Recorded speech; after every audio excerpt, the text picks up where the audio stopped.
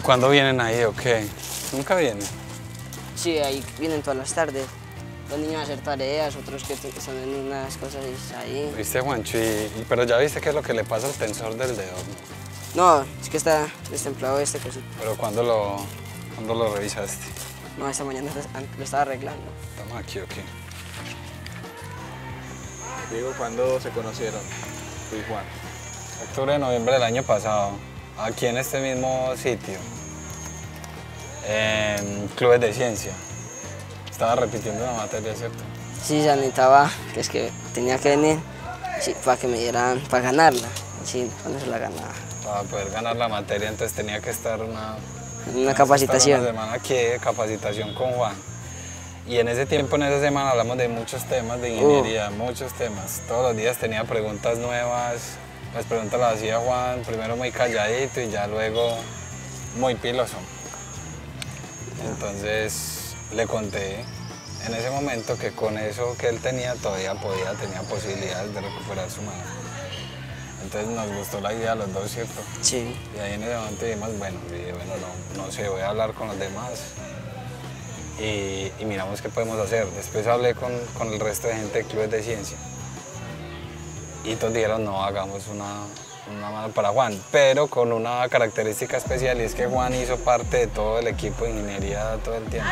Entonces, el color lo decidiste. Ah, sí. Buenas, ¿cómo están? Bien, usted, Bien, bien. es fundamental que ustedes hagan parte del proceso de entrega y todo el proceso de rehabilitación. Uy, qué cosa. Qué miedo. Y usted ve la diferencia, pero le aseguro que Juan, ¿cierto?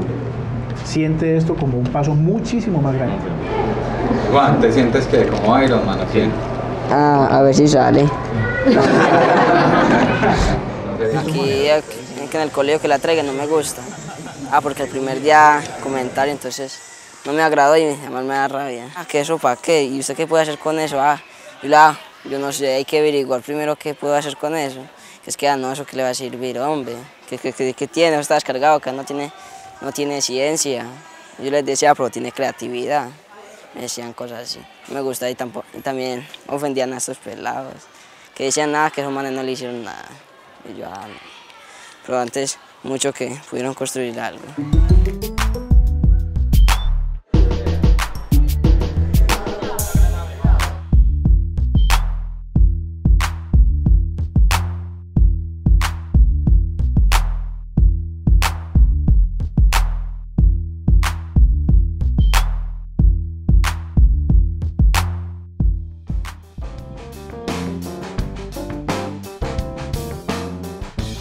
El rector me dijo que quería mostrar el video a todos. Ah, Malas noticias, ¿o qué? no me gusta ser anónimo. Sí. Me gusta estar en lo discreto. Pero para que todos sepan lo que hicimos en el Club de Ciencias. Ah, ¿no? ya por ahí. ¿No? Sí, es básicamente para eso, para que todos conozcan el proyecto. Deberías de intentar otra vez. ¿O fue que te lo, en los primeros días lo trajiste y fuiste allá al colegio con... ¿Qué? ¿Que si voy al colegio con ella? Claro. Y entonces el que primer día viene. un montón de cosas y qué? Ah, sí, que es que, ah, ¿qué es esto? Todo el mundo era cogiéndome. En el descanso que me fui a comer, entonces no la llevé. Cuando la pillé freya, nada. Y a no. muchos no les pareció muy chévere. No les daba risa. ¿Risa? Sí. ¿Y ¿Por qué crees que les da risa? Que es que ahí eso fue que eso es raro. Que es que a otros póngale yo, ah, no, ustedes para hacer recocha con eso, entonces. Después de eso has hecho así ejercicios mentales, así de ingeniería todavía y mirando a ver qué se puede solucionar. No, sí. Oye, ah, pues yo más pilos que yo. Entonces ya saben más. Y después de eso cambiaste, al principio querías estudiar administración. Administración. ¿Y ya qué querés estudiar? No puedes hasta ahora. Ingeniería bioquímica, que sí parece bueno. Biomédica o bioquímica. Biomédica. Ingeniería. Bioquímica no es lo mismo. No, Parecido, pero no. pues inspiración, ellos que me ayudaron y me colaboraron con tener algo que pensaba que no iba a tener. Antes de que nos conociéramos, habías pensado en la posibilidad No de que que pueda hacer. Ni, no tenés ni idea, ni que se puede hacer aquí. En este momento, digamos, dentro de la base de datos conocidas de personas, hay cerca de 100 personas en el país que como Juan necesitan una ayuda adicional en este momento para su miembro superior. Estamos hablando de miembro superior solamente y estamos hablando de, de, de brazo pues fundamentalmente.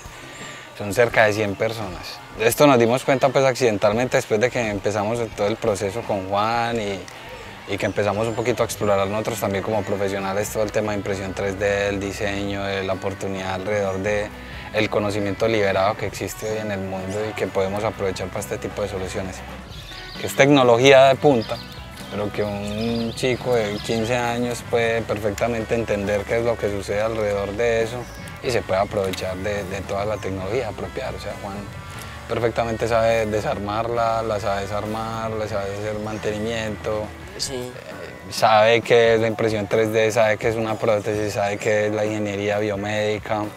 Estuvo permanentemente con nosotros, fue un integrante más al que le consultamos muchas cosas, porque nosotros desde la ingeniería y de la ciencia pues uno tiene un conocimiento pues como a priori, pero, pero el contexto y la vida de cada persona pues es, bien particular, entonces para, nosotros, para nosotros es un superhéroe, él, pues, él, se inspira en nosotros, nosotros nos inspiramos en él. Y yo creo que en parte es, eh, fue como, como la clave, ¿cierto? Es una admiración mutua por la energía que tiene Juan, porque a él no le importa y no hace de su vida un drama, por cualquier condición que tenga y porque él entendió que en el mundo de hoy, en el mundo cooperativo y en el mundo en el, del conocimiento libre, él puede hacer de esto simplemente una anécdota y utilizarlo para catapultarse y para hacer un agente de cambio, básicamente pues ese.